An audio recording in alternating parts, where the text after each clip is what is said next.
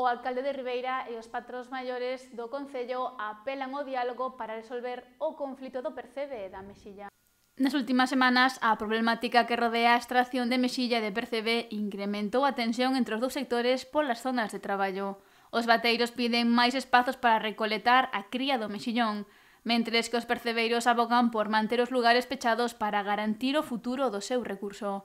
O alcalde de Ribeira, Manuel Ruiz, reuniuse onte de urxencia cos patróns maiores de Ribeira, José Antonio Pérez, de Aguiño, José Antonio Santa María e de Palmeira, Miguel Franco, para tratar este tema en busca de solucións.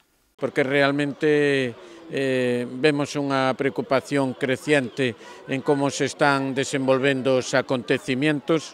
Eu creo que en estos momentos ese problema que era evidentemente eh, un problema que podía ter solución mediante o diálogo estáse levando por outros cauces.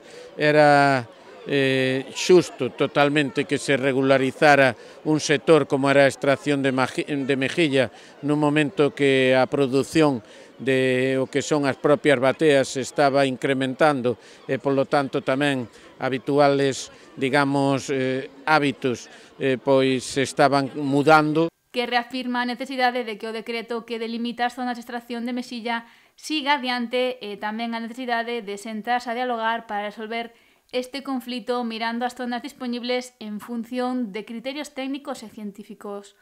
Ruiz tamén destacou a importancia das rochas para o percebe. Para os percebeiros o único recurso é a pedra En cambio, para os bateeiros poden existir outras formas de cría de mejilla e, polo tanto, a solución hai na que encontrar.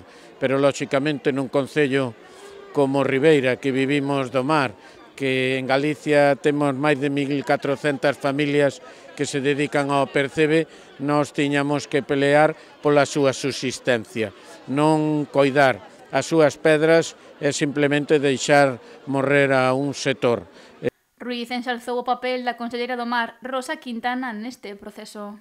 Hai que encontrar esa solución, a conselleira é a persona máis adecuada para facelo.